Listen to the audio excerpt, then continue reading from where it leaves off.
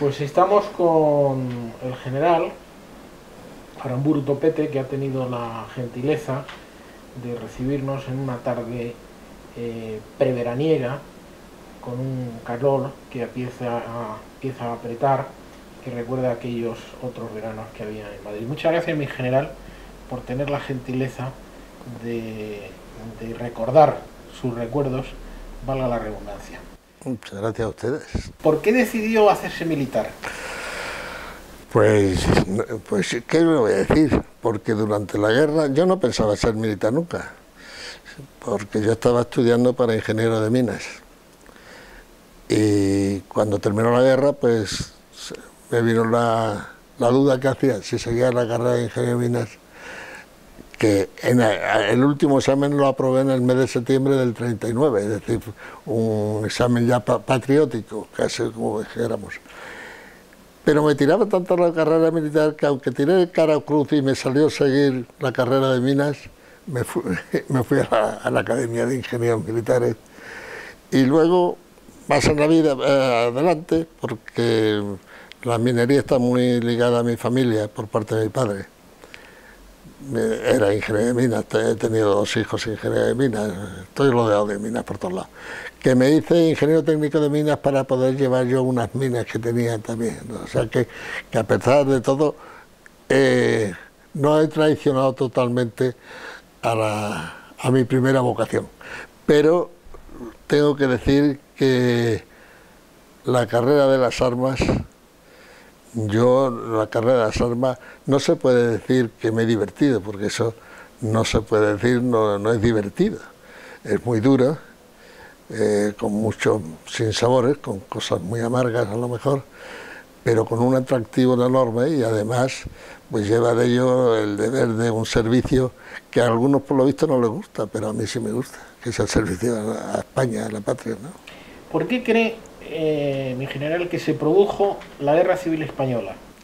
Porque había un caos que aquello no había que lo entendiese, un caos tremendo político, un caos de ideas y luego, pues que hubo quien quiso empezarla, primero con desmanes, como por ejemplo la quema de iglesias, y después la, guerrita del norte de, Asturias, en fin, aquello no era, no era...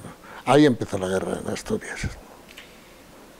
Y en, el, y en el 16 de febrero del, 30, del 36, en las elecciones cuando se formó el Frente, el Frente Popular contra lo que no era Frente Popular. ¿Y cómo, cómo vivía? Cómo Bueno, se notará que yo no soy marxista. Lo digo para que, que, no quede, que no quede en duda. No soy tampoco carca. Lo demostré, creo que lo demostré el 23F defendiendo la Constitución. ¿Cómo, cómo, cómo vivía usted eh, aquel momento, cuando era un, un joven que, que, se encuentra una, una, patria, una nación muy, muy revuelta políticamente? Que como, pues, yo tenía, como he dicho, mis ideas, y entonces era raro el, el estudiante que no tuviera las suyas, ¿no? Yo estaba inmerso en aquel caos político que, que hubo los años 34, 35 y 36. ¿Cuándo se produjo su contacto con, con, la guerra? Pues a mí me cogió la guerra en Barcelona porque me examiné en el mes de junio aquí en Madrid y mi padre me dijo que me quitase de en medio de Madrid, que es donde eh, podía tener eh, más peligro, y me fui a Barcelona, que es donde estaba él. Y empezó la guerra y vi que, que mi sitio no era ese, y me fui al otro. ¿Qué recuerdos tiene de, su tiempo en, el frente y en la guerra? Fue herido en la misma, ¿no? En Teruel, ya bastante pasada, vamos, adelantada la guerra, sí. Pero nada, ya digo, la guerra es eh, tiene muchísimas facetas muy malas, terribles, eh, no se lo desea nadie, pero por otro lado la persona humana descubre toda la parte buena que tiene también. Igual que aparecen en algunas partes malas, en otros aparece su parte buena. El compañerismo, la camaradería. Es, una cosa, bueno, se ha escrito mucho sobre eso y usted lo sabe perfectamente, o sea que no, no estoy inventando nada nuevo, ¿no? ¿Vio morir a mucha gente? ¿Mm? ¿Vio morir a mucha gente? Desgraciadamente sí. ¿Y qué, qué sentía? Cuando se muere en combate no se siente nada. en, combate se ve, la, la, muerte es una cosa natural, se siente después de, de la muerte de, de, algún compañero o incluso del enemigo. Tampoco es agradable ver, que uno se queda en la alambrada. En, ¿Y fue usted alférez provisional? Se decía, se bromeaba con los alféreces provisionales. Bueno, sí, se decía que, que, cobraría, que cobraban tres pagas. La primera para el uniforme, la segunda para correrse una juerrecita y la tercera para el entierro. ¿no? ¿Y qué aportó la figura de los alférez provisionales en esa guerra? Pues yo creo que mucho. Yo creo que el alférez provisional mm, contribuyó mucho a, en la zona nacional, como la zona roja también le pasa igual, no, tenía mandos inferiores y fue la que lo llenó. Y fue un acierto porque el alférez provisional, aparte de que cayeron mm, como chinches, pero el espíritu fue tremendo, tremendo. Es decir, es difícil ganar una guerra, o era difícil ganar una guerra de esa naturaleza sin mandos intermedios. Hombre, claro. Claro, el mando intermedio es fundamental. Eh, uno de los grandes errores de la zona republicana es que tardó en hacer esos mandos y cuando lo hizo, eh, mm, lo hizo, hizo unos mandos que no tuvieron toda la calidad que, que podían haber tenido. Y además se obligaron, como les faltaron también muchos mandos eh, superiores, o digamos superiores de tipo comandante, de jefes, pues también tuvieron que cogerlos todos, mm, como dijéramos, novatos. Y les faltó Estado Mayor, les faltó, les faltaron, les faltaron profesionalidad. Y, por otra parte, eh, formó ejército, unidades de ejército eh, propiamente dicho, cuando la guerra ya estaba bastante iniciada. Tardaron muchos meses en tener unidades, en, ver que la milicia no era un sustituto de un ejército. Acaba la guerra y va usted a la Academia de Ingenieros. Mm, sí, a Burgos, sí, con el hermano de, José Muñiz. ¿Qué recuerda de, de, de la academia? Ah, lo pasaba en grande no pasa. Con, 20 o 21 años, comprender usted se pasa bien en cualquier lado. Pero inmediatamente se va usted a otra guerra. Otra guerra pues sobre la que se ha escrito muchísimo. Sí, ¿eh? la División Azul. Yo ya era un profesional y ya creo, entre otras cosas, era ya un deber. Si piden un servicio, pues, es un deber presentarse uno para, para cumplirlo. Por eso me había hecho militar. O sea, se presentó usted voluntario. Claro, como la mayoría el 99% de los que fueron a Rusia. ¿Y qué recuerda cómo eran aquellos jóvenes que fueron a la División Azul Española? El soldado. Bueno, el soldado ya estaba yo un poco ya despegado de eso, porque yo ya era, yo fui de capitán. Eh, muy entusiasta, eh, muy poca preparación, porque muchos de ellos no habían, algunos habían hecho nuestra guerra, pero muy pocos. La mayoría pues eh, eran novatos. Hubo que, que enseñarles muchas cosas antes de, para que no se metieran en fuego con, una santa inocencia. ¿Y qué movió, qué movió a aquellos jóvenes españoles? Las imágenes de la época nos muestran pues, pues un enrolamiento enorme. enorme. ¿Qué, movió a aquellos jóvenes a irse después de una guerra a otra guerra? Pues muchos, muchos de ellos, por no haber estado en la guerra, eh, y que no le contasen batallitas, se fue a, conocer sus batallitas. Como 18 o 20 años, pues la gente busca aventura. Quizás ahora no, pero entonces sí. ¿Y cómo eran los oficiales que participaron en la División Nacional Española? Pues, eh, por ejemplo, le voy a decir una muestra. Del batallón de zapadores de asalto, que es el que yo estuve, todos era, habíamos estado en la promoción en Burgos todos éramos compañeros de una misma promoción. Algunos antiguos cadetes, otros, pero todos habíamos estado juntos los tres cursos de, de Burgos. Luego, unas unidades donde todos los compañeros, desde los menos el comandante, claro, todos los capitanes y todos los tenientes, se han estado juntos tres años en una academia, pues el mandar era facilísimo. Llegaron ustedes allí y se enfrentaron a los rusos y al frío.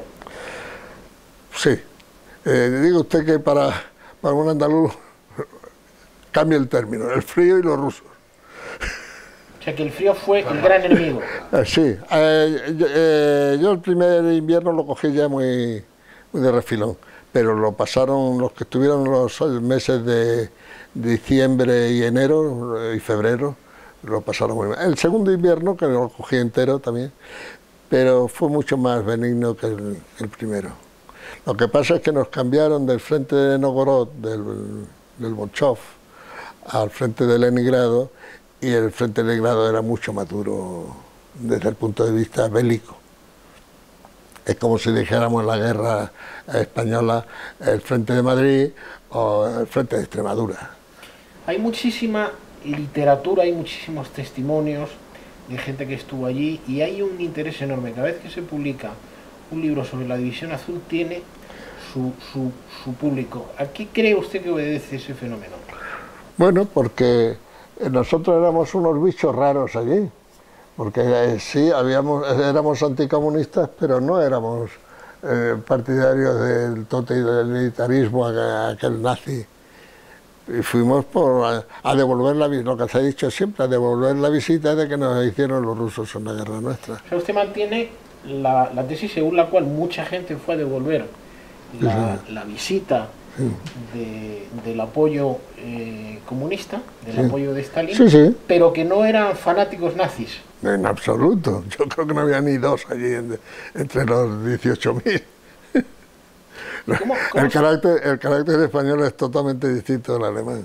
y cómo se comportaban esos soldados y esos oficiales españoles en la División Azul como españoles? ¿Les salía el Naturalmente, español? naturalmente. Sí, sí, estábamos, era una isla dentro de otras unidades de alemanas, pero dentro del sector de la división, pues aquello era un trocito de España, eh, pequeño, pero un trocito de España. ¿Cree Con que- nuestras virtudes y, nuestro- y nuestros defectos. ¿Cree que la División Azul estuvo a la altura de las circunstancias, histórica y militarmente? Pues yo creo que sí. Nos faltó eh, instrucción, como le decía antes, porque mm, la tropa era muy, muy bisoña.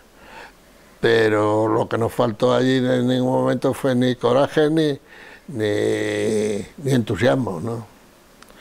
Eso en absoluto. Vuelve usted de, la División Azul y comienza una larga, prolífica y constante carrera militar. Sí, cuando volví, ¿dónde me fui? Bueno, cuando volví, a poco tie- estuve un año en una, mandando una unidad de ferrocarriles en Barcelona. Después ascendí a comandante y estuve seis o siete años mandando un batallón de montaña en los Pirineos, cuando, cuando los maquis y cuando... sí, sí. Pues desde el 40 y... Yo ascendí a comandante el 45, desde el 45 al 52. 52 me fui a la Escuela de Estado Mayor, estuve cinco años en la Escuela de Estado Mayor. Después de la Escuela de Estado Mayor me fui otra vez para Cataluña a mandar una sección de Estado Mayor de Capitanía. Después que fue, ah, después fui a, de profesor a la Escuela Superior del Aire, a la, a la Escuela eh, Superior de el CSDEN, el Centro de Superior de Estudios de la Defensa. y de ahí, de coronel, hasta que ascendí a coronel, y de ahí me, me fui voluntario también a mandar un regimiento de ingenieros al Sáhara, y estuve hasta la Marcha Verde, hasta que me volvimos de ahí. ¿Qué recuerdos, ¿Qué recuerdos tiene el Sáhara? Magnífico. Aquello, aunque sea un desierto, es maravilloso. La gente no se lo puede creer, pero eso sí.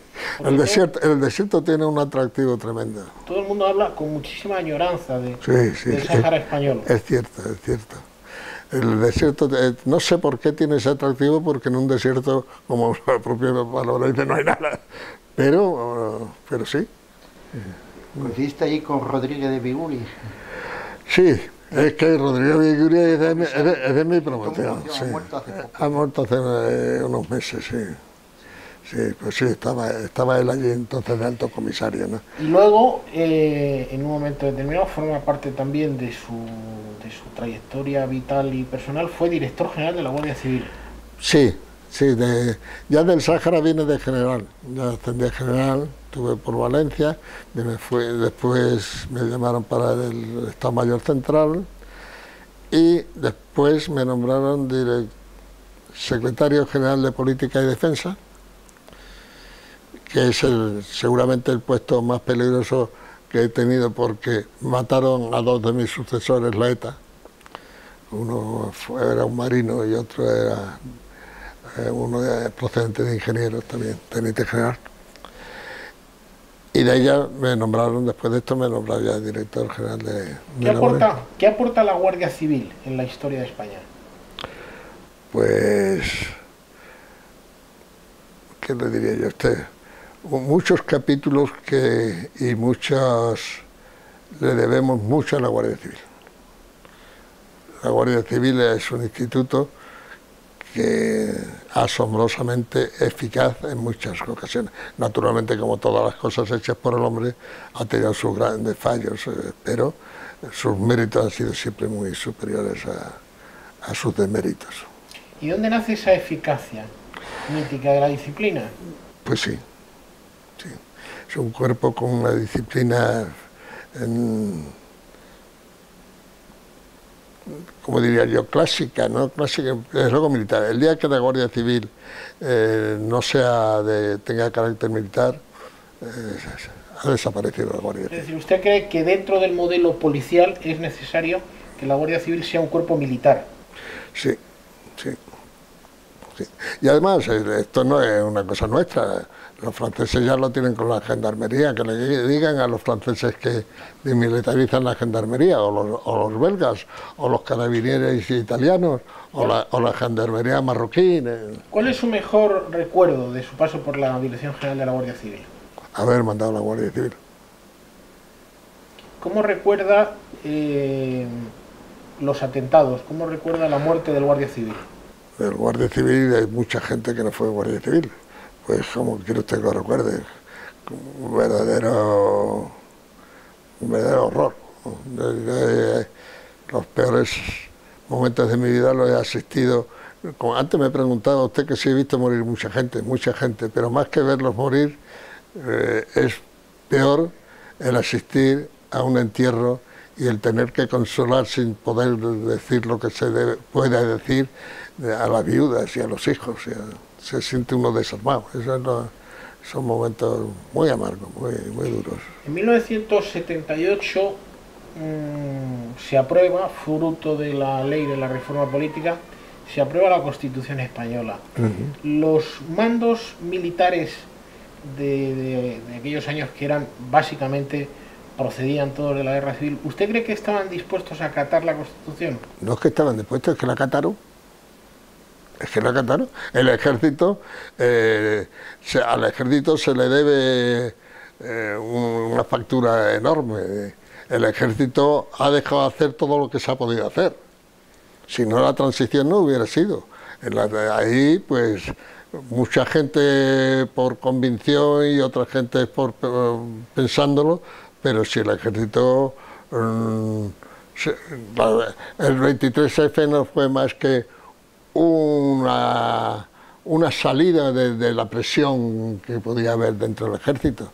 Pero el ejército to- todo fue el, el que permitió hacer la transición. ¿Usted cree, mi general, que el 23F se produjo, como piensan algunos, por dos factores? Por un lado, eh, el, el título octavo de la Constitución, es decir, todo lo relacionado con las autonomías, y por otro lado, aquella sangría de militares y de guardias civiles de aquellos años. Yo creo que las- el ejército aguanta muchas sangrías. No fue yo, yo personalmente no creo que fue por la sangría. Sí puede ser por el, capítulo octavo y por las consecuencias que podía tener en el porvenir. Que estamos viendo que, que- que es el mayor problema que tenemos actualmente. Pudo ser eh, mi general, ¿pudo ser el 23 de febrero un pulso entre, entre dos generales? No. Entre Sabino, don Sabino Fernández En, en absoluto. Sabino, igual que, que los que en aquel momento enfrentamos la situación, eh, le cogió, no le digo que, que sin saber nada, pero casi. únicamente, pues nuestra profesionalidad dijimos, esto no puede ser, eh, otro siglo XIX no lo queremos nadie para España, y ningún militar lo quiere. Ahora que algunos creyesen, como ocurrió con dos o tres, que era una solución, eso no quiere decir nada, porque los, implicados en esto pues eh, eran media docena. Y los estábamos en contra de ellos, vamos, los que estamos, los que nos pusimos en contra porque no estábamos, no sabíamos nada del asunto, pues éramos, éramos el 99% pero porque fíjese lo que se ha escrito sobre el 23F y lo que, lo que, se ha escrito y lo, que, se ha, y lo que se ha inventado y lo que... Realmente el, el CSID, que era en ese momento el Servicio de Inteligencia, eh, no se enteró. Ese es mi gran problema. No lo sé. No lo sé. Yo lo que sí puedo decirle es que nadie estábamos enterados. Si el CSID lo sabía, no nos lo porque usted... O le, o le cogió, se le adelantó el asunto al CECID y le cogió al CECID también un poco en, Porque usted, falta de posición. En su condición de director general de la Guardia Civil tenía, imagino, dos fuentes, que era la propia Guardia Civil Sí, pero la, pero la, información de la Guardia Civil no, no, no, está metido en esos asuntos, esos asuntos. Yo tenía Guardia Civiles en el CECID, pero esos no me daban eh, la comunicación a mi servicio de información, lo daba al CECID, esos guardias o oficiales de, que pudiera tener o que tenía dentro de la Guardia Civil, esos daban sus partes y su información a sus jefes. Es los jefes del CECID los que tenían que habernos alertado. ¿Y usted le, llegaban informes oficiales del, del? Hombre, de, para, de otras cosas sí, claro. Pero no le hablaban de... yo de esto le, digo a usted, no sabía absolutamente nada. Nada. Llega el 23 de febrero y ¿cuándo se entera usted? El 23 de febrero. ¿Y cómo se entera? El asunto empieza a las me parece que fue a las 7.20. Yo estaba reunido aquella tarde, en una, tenía una junta de generales en el cuartel general de la Guardia Civil y me, el coronel secretario me dice, mi general, parece ser que han entrado guardias civiles en el Congreso. ¿Cómo?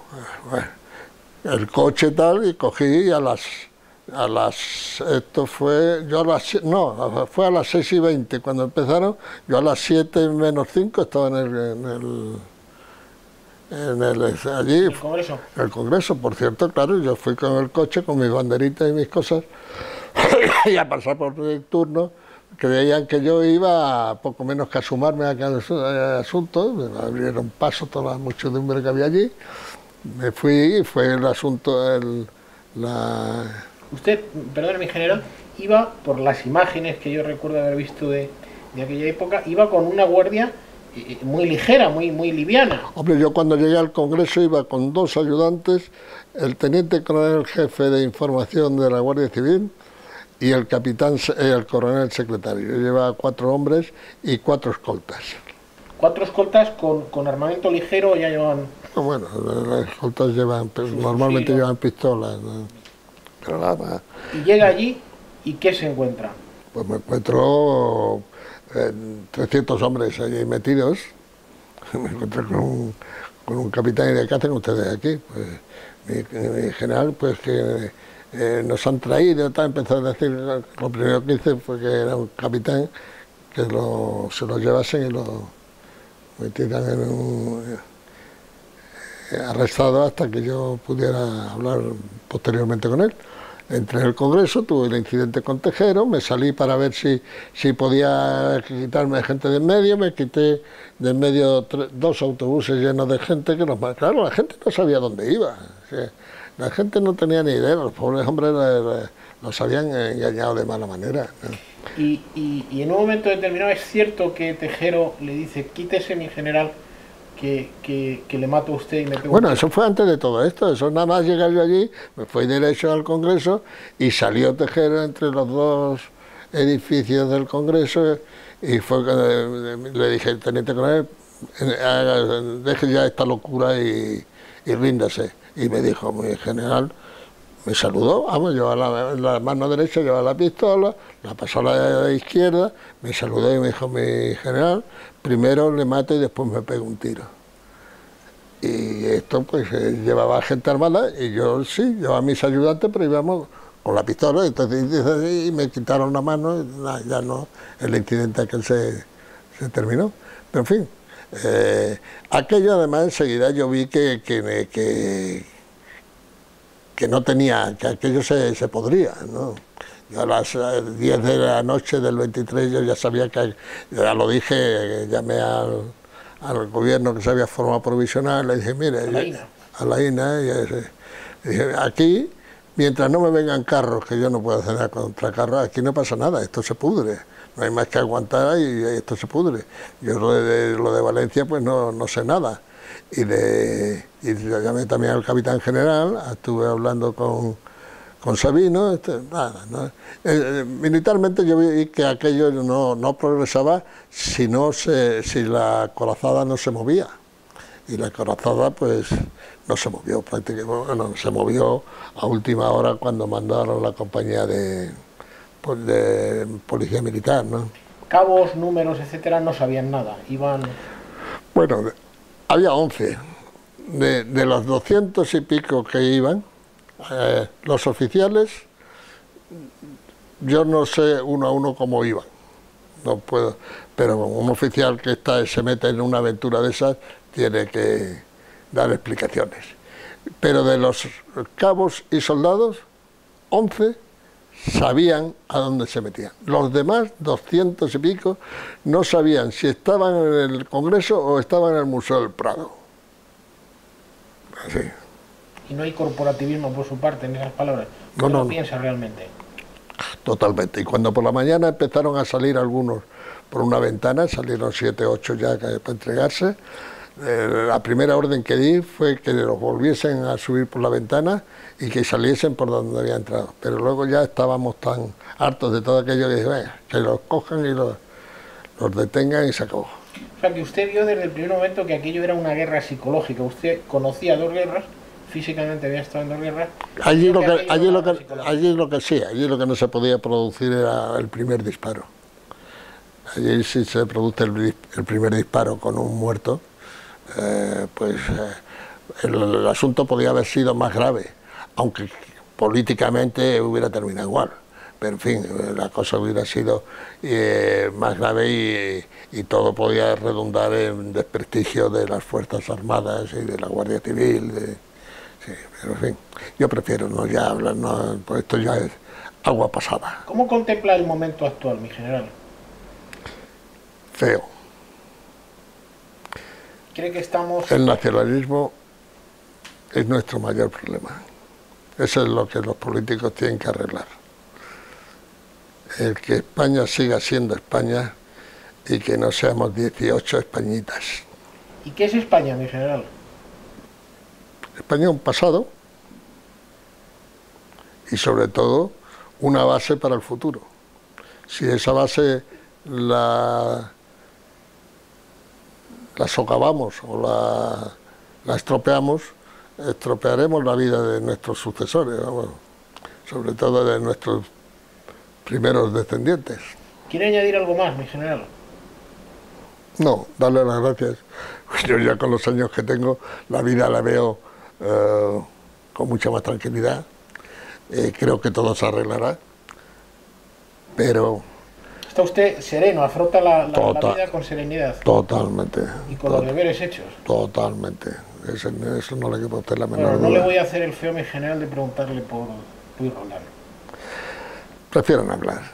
Prefieren hablar. Es un, un desdichado caso, pero en fin, no tiene no tiene importancia para mí, es el hecho de un señor que, que ha querido jugar a malo y le ha salido mal. Muchas gracias.